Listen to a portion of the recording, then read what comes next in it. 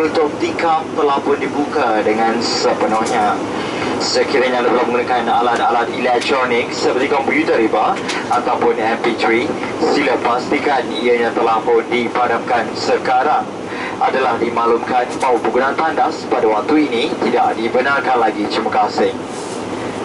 Ladies and gentlemen, we'll be landing shortly. Please return to your seat. Position in upright position. Fasten your seatbelt. Secure your tray table to its original position and keep your window shades fully open. If you have been using any electronic devices such as laptop computer or MP3 player, please ensure that